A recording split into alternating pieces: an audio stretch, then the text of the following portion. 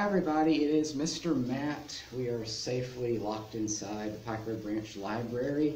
Um, we hope you are all doing well and staying safe and staying clean and not getting sick. Um, we are closed to the public for quite some time. Don't know exactly when we'll reopen, but we are going to start bringing you some story times on the Facebook page. And our whole library system will be posting some to YouTube that we'll be sharing links for on our Facebook page. And we're going to do that for however long that we are having to live like this. Um, just try to make your day a little bit brighter. Um, just to let you know, we are still doing checkout service. You can go onto our online catalog on our website and place holds on items, and then they'll be sent here. And you can still pick them up from our front door, where we have a book cart sitting outside. And you can also use our apps, you know, Hoopla and Cloud Library and RB Digital. Plus, we have lots of databases on our website, like Tumble Books that has storybooks and chapter books as well for people of all ages. So give us a call at 334-625-4886 if you need help with that. Um, you can also just send me a message via the Pike Road Branch Library Facebook page, and any updates will get posted there as things progress. So without further ado, it is time for story time to start. And we're going to start the way we always do, um, whether I'm at the Pike Road Elementary School reading to your kids there, or to the kids here at the library for story time. So let's do hello, friends. We're going to learn some sign language. So this is the sign for hello. We're going to hello, get our friends, friends, hello, friends, hello, friends. Point to your wrist. It's the sign for time. We're all used to our watches. It's time to say hello. Here we go. Hello, friends. Hello, friends. Hello, friends. It's time to say hello. Give yourself a round of applause wherever you are as I applaud myself. You may hear a little croaky. That's just to do with the pollen. So as always during story times, I will take a sip of water or tea. Today it is water with a little bit of lime juice added for flavor. And I'll be doing that throughout story times as we do them online, as well as in person when those resume. So right now we have to stay away from each other. We can't, you know, give a handshake. We can't give a hug. We can only wave, and it's kind of sad. But we're going to do a couple of stories about hugs because everyone likes a hug, or at least most people do. So our first story is one the kids at school have heard and the one the kids at the library have heard, but maybe we can get some new kids who've never heard this story to enjoy it today. These are my favorite new books. It's Tiny T-Rex and the Impossible Hug by Jonathan Stutzman and illustrated by Jay Fleck. And it is published by Chronicle Books. Now I'm going to come a little bit closer so that you can see the pages better, so don't get scared. I'm just getting a little bit closer there. And this is Tiny, and he has a very tiny T-Rex. Now we're going to see why the impossible hug is a big problem for him. First, we're going to say hello to Tiny. We're going to say hello, Tiny. And this is his friend Pointy. We're going to say hello to Pointy. Hello, Pointy. Now we're going to start. Hello, Pointy. Are you okay? Pointy says, No. Today I feel sad. I do not want to play. And that is why Tiny T-Rex must give Pointy the impossible hug. Now on this first page we have a list of things that make someone feel better. How to make a friend feel better. Number one, cake. Number two, smiles. Number three, hugs. Number four, tacos. And number five, jokes. But this book is about number three, hugs. There's Tiny. Tiny says, I have tiny arms. It is very difficult to hug with tiny arms.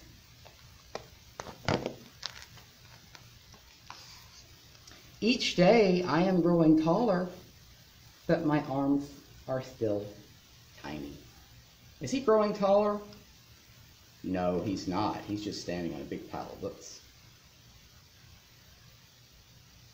Tiny says, hugging almost seems impossible for a Rex as tiny as me. But I will try anyway, because Pointy needs me. Says, Where's my father? I will ask him for advice. Now, every time he sees a family member, we're going to say hello with, with uh, Tiny. Tiny says, Hello, Father. So you at home say, Hello, Father. Good job. Where was Tiny standing? Yeah, he was on his father's head. Father says, Rexes are thinkers, not huggers. Perhaps instead of hugs, mathematics might be the answer to your problem. Well, Tiny thinks about that and says, Pointy does not like math. Math will only make Pointy feel worth. So Tiny goes to see his Auntie Junip. What is Auntie Junip doing? Yeah, she's doing yoga. Maybe you've been doing that uh, during the break. He says, Hello, Auntie Junip. I have a problem. I must learn how to hug, but my arms are too tiny. Auntie Junip says, I have found that balance is the key to every problem. Balance and freshly squeezed cucumber juice. Does cucumber juice sound good to you? I'm not sure how Tiny feels about it. Tiny says, That is disgusting. I will ask my mother for help instead. But on his way to his mother, something terrible happens. I have fallen, and now I am lost. I do not think I will find my mother in here. Where do you think he is? What do you see? There's a pencil and a pair of scissors. Oh, he's in his mother's desk drawer. She opens it up and finds Tiny. He pops out and says, Hello, Mother.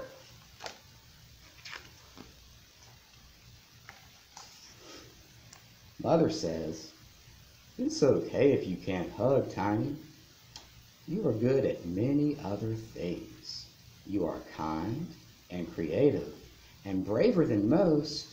You are tiny, but your heart is big.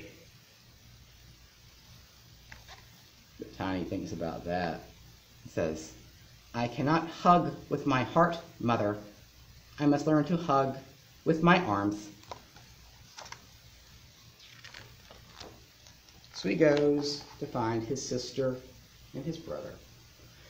He says, Hello, sister. Hello, brother. Please help me. Hugging is very difficult. They say, We'd love to help, Tiny.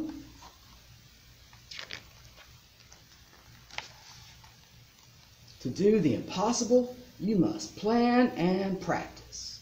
Practice, practice, practice. Tiny says, Thank you, Trixie and Rory.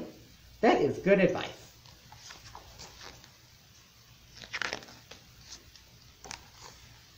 He says, I will plan my strategy.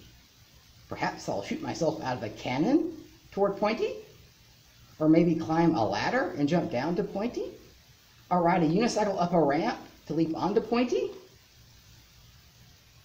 or maybe I can dangle myself from a Brontosaurus down to Pointy, or maybe parachute down to Pointy, or dig a tunnel up and hug Pointy on the belly.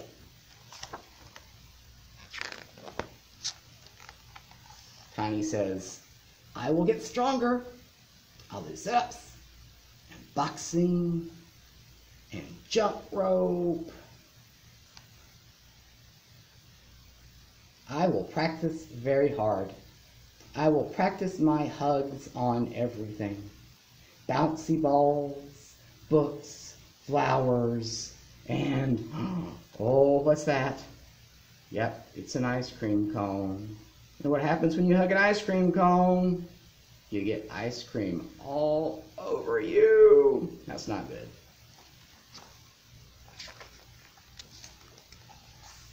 What is that? Yep, that is a cactus. And what does a cactus have? Spikes. What did Tiny do? He hugged the cactus. He said, I will not practice on that anymore.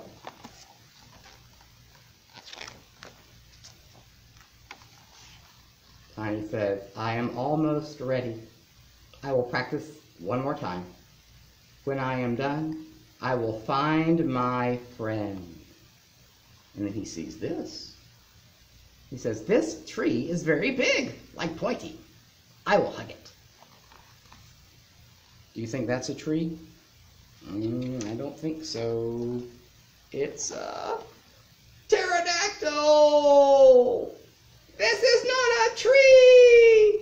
I have made a mistake! Please help! But then Tiny looks around and thinks, from up here, everything looks tiny, like me. I could hug anything I wanted. But then things go wrong again. No, I am falling. I should not have let go. Now I will never find Pointy.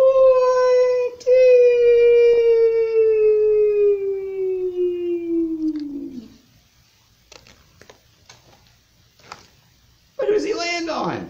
It's Pointy. He says, Hello, Pointy.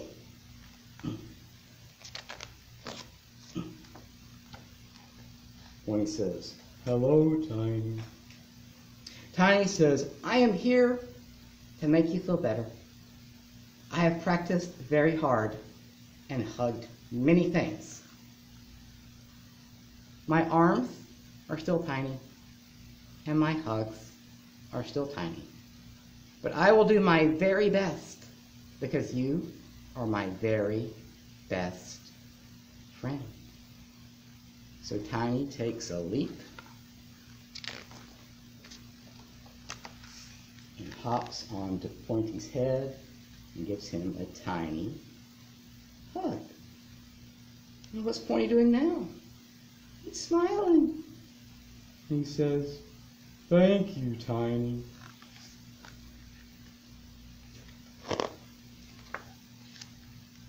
That was the biggest hug ever.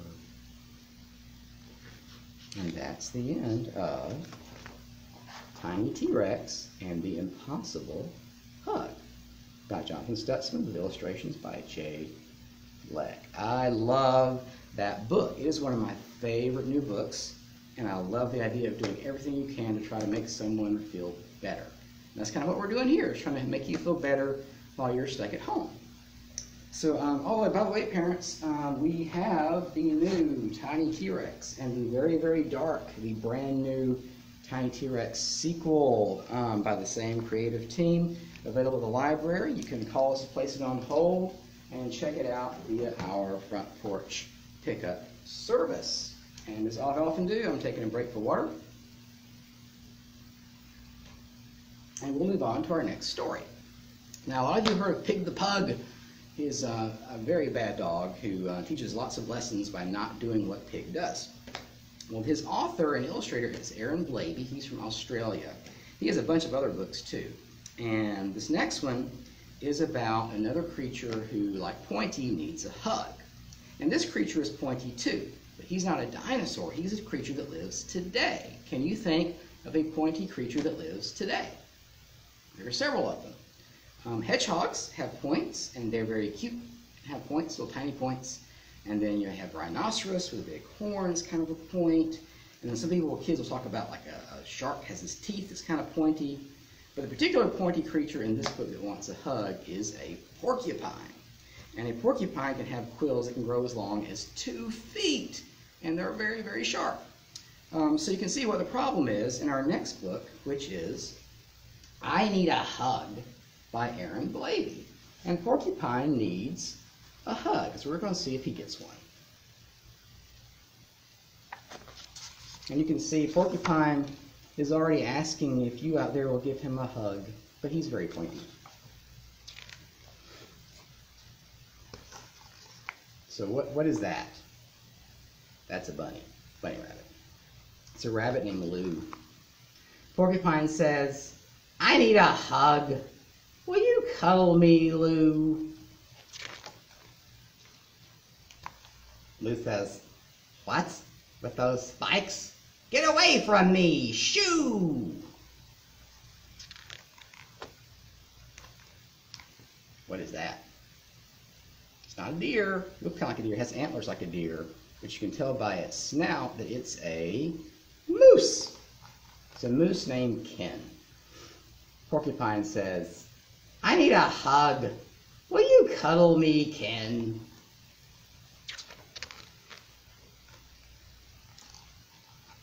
Ken says, Help!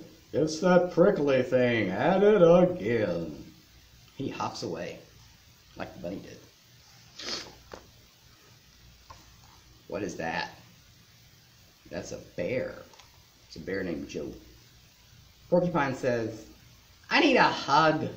Will you cuddle me, Joe? Joe says, Cuddle you? I won't. No, no, no, no.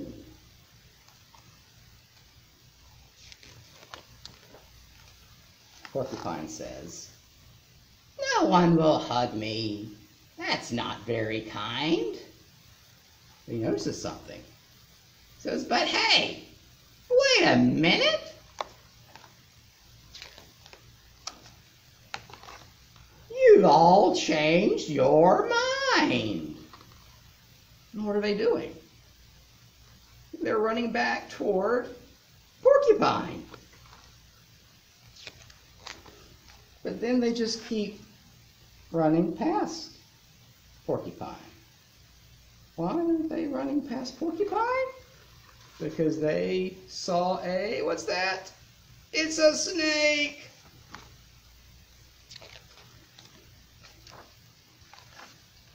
Snake comes up to Porcupine and says, Gosh, all I did was ask for a kiss.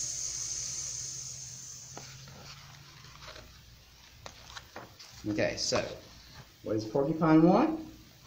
He wants a hug. What does Snake want? Snake wants a kiss. So Snake looks at Porcupine with a hopeful smile on his face. And Porcupine thinks it over. Do you think they're going to get a kiss and a hug?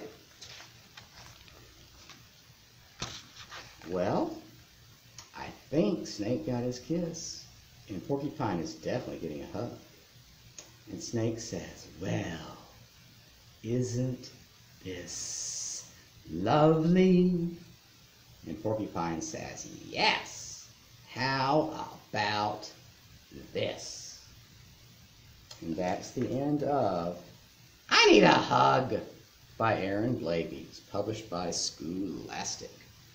We have lots of Aaron Blabey books at the library, so check out our catalog, check them out place holds on them or give us a call we'll get some checked out to you for our front porch pickup service. Well, that is going to wrap it up for this story time. We'll be posting some on a regular basis throughout this time where we're all kind of locked away from each other.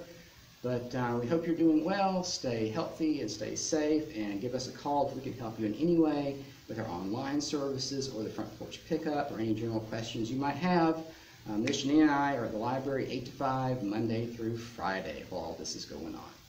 It is time for our goodbye songs. Let's put our goodbye hands up. Remember, it's goodbye, friends. Goodbye, friends. Goodbye, friends. It's time to say goodbye. Here we go. Goodbye, friends. Goodbye, friends. Goodbye, friends. It's time to say goodbye. Good job, everybody. Have a great day. We will see you again soon with some more stories.